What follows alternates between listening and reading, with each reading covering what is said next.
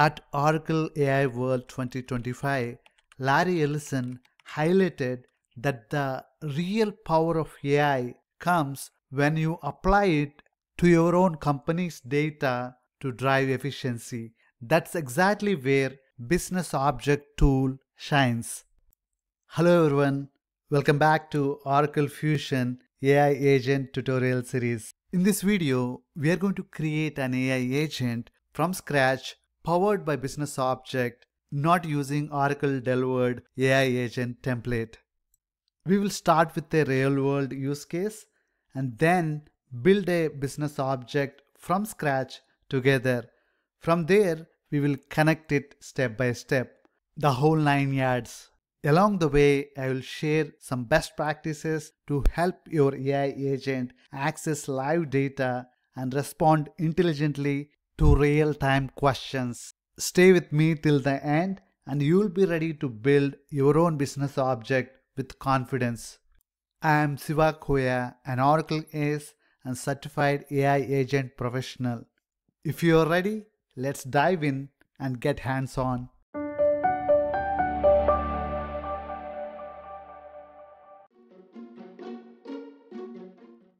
Let's talk about a common pain point. If a buyer wants to know what's the total purchase order spend for a supplier ABC, or he wants to export some specific purchase order details in CSV format. In the current world, it is time consuming. We have to build a data model, layout, run the report, export the data to answer a simple business question. What if your users can ask AI agent these business questions and getting the answers instantly without running any reports? This is exactly what we are going to set up. In this demo, we will build a business object tool on top of the purchase order REST API so our AI agent can query PO data on the fly and return dynamic and real-time answers.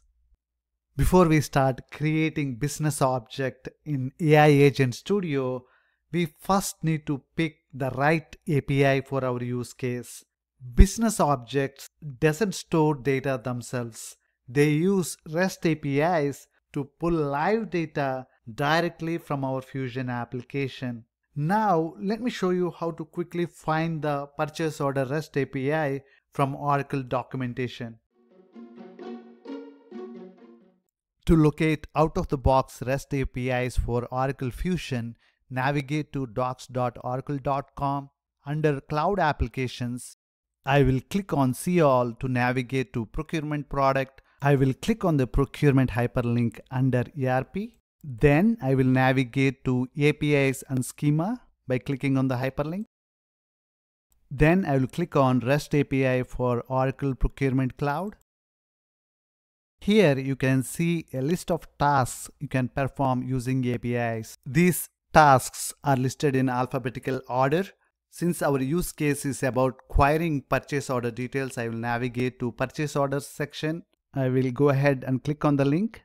Our task is to fetch all the purchase orders from our Fusion application. So I will select the relevant task, which is get all purchase orders. Here is the REST API endpoint that we need to get all purchase order information from Oracle Fusion. Even though I demonstrated this for purchase orders, now you know how to navigate to your particular task based on your use case. I will go ahead and copy this API endpoint to use it in my next activity.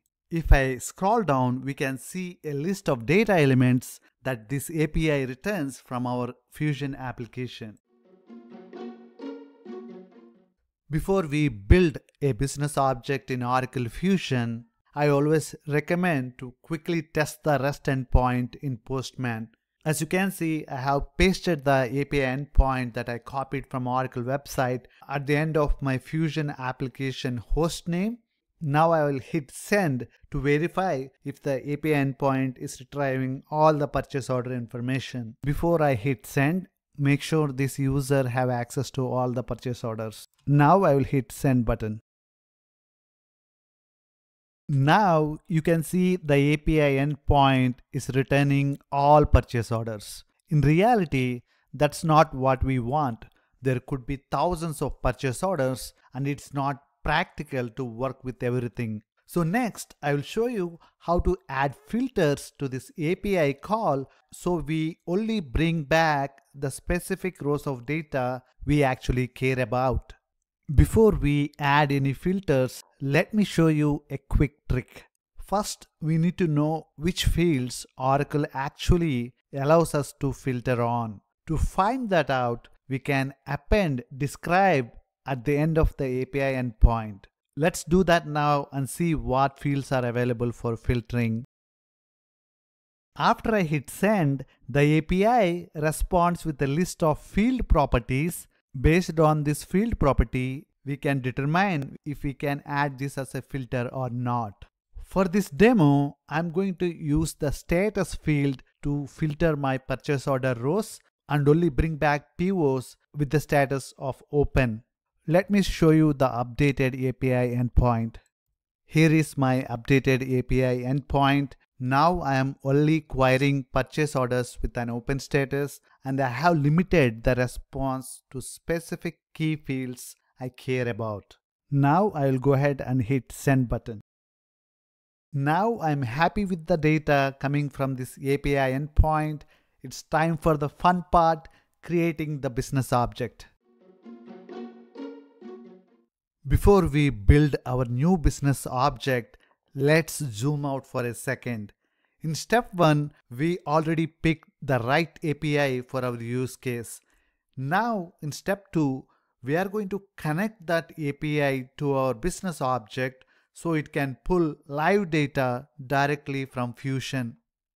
To create the business object, I will first log in into my Fusion application and then navigate to Tools AI Agent Studio. Once I am in AI Agent Studio, I will go down to the footer and click on Business Object to start creating a new one. I will click the Add button to create our new business object and then fill in a few basic details to get it set up.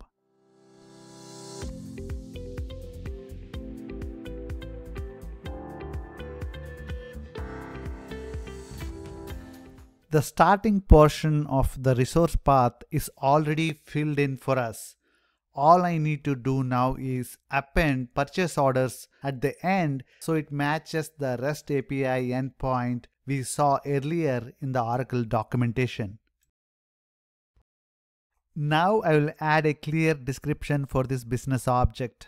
Next, I will add a business object function by clicking the plus button now I'll fill in the required details, how this function should call our API and return data to our AI agent.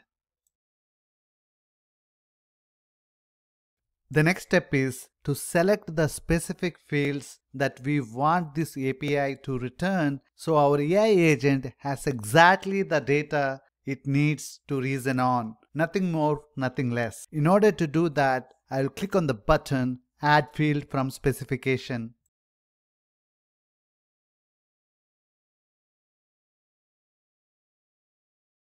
Once I have selected all the fields I need, I will go ahead and click Done to save this business object function.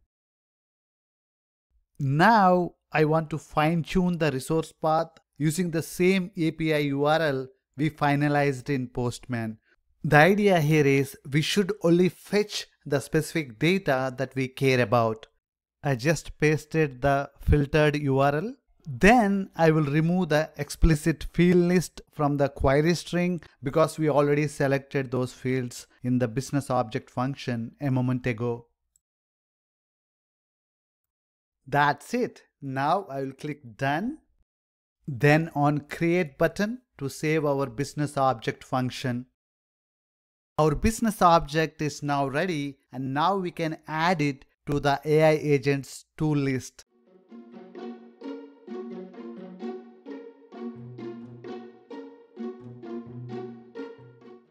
An AI agent cannot call a business object directly. It has to use it as a tool. So let's go ahead and add our business object to the tools list. To do that, I will click on the Tools button in the AI Agent Studio footer. I will click on Add button. From the Tool Type drop-down, I will choose Business Object and then fill in the details so this business object is available as a tool for our AI agent.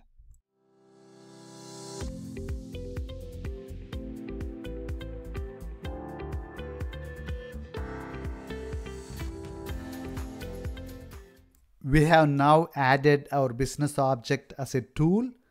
I will now click on create button to finish the tool setup.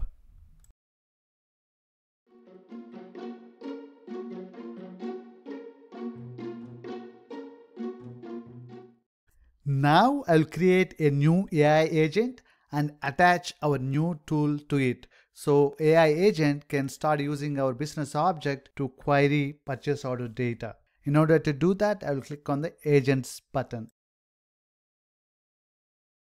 I will click the add button to create a new AI agent and then quickly fill in the key details to set it up.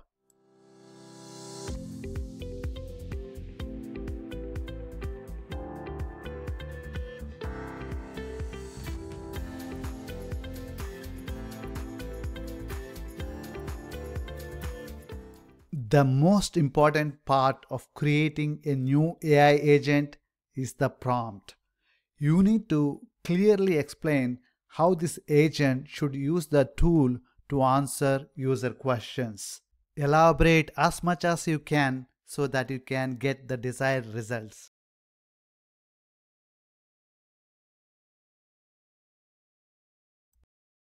To hook up our new tool to this AI agent, I will first highlight the Tools section in AI Agent Setup and then click on the tool icon in the menu, search for our business object tool and then hit plus icon to add it to this agent.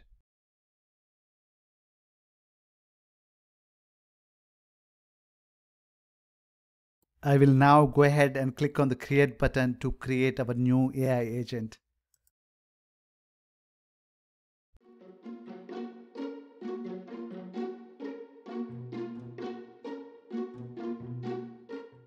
For the final step, I will create a new AI agent team, which is our end product that responds to user questions. Once I create AI agent team, I will associate our new AI agent and that wraps up our AI agent setup end to end. I'll go ahead and do this.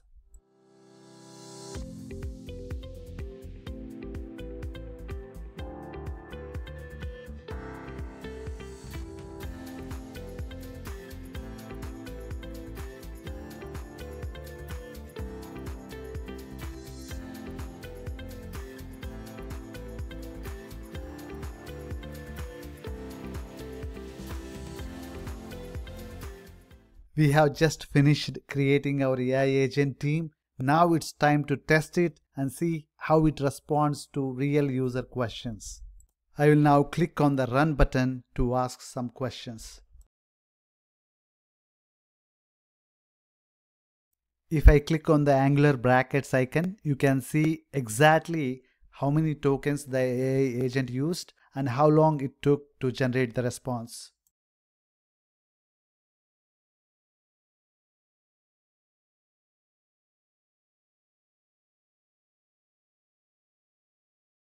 You just saw how our AI agent handle everything from simple questions to complex scenarios. Now you have seen how powerful a business object can be when you build the right AI agent on top of it. If today's content is helpful to you, don't forget to hit that like button and subscribe for more Oracle Fusion AI agent demos and tips.